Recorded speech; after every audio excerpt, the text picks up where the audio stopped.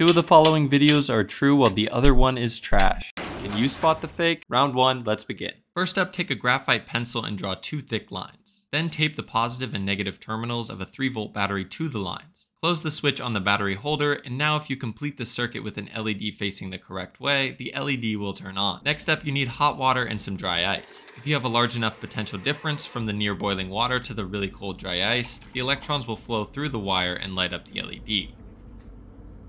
Lastly, grab some oranges and connect them all in series using these copper and zinc metal prongs. Then when you complete the circuit, the LED will turn on.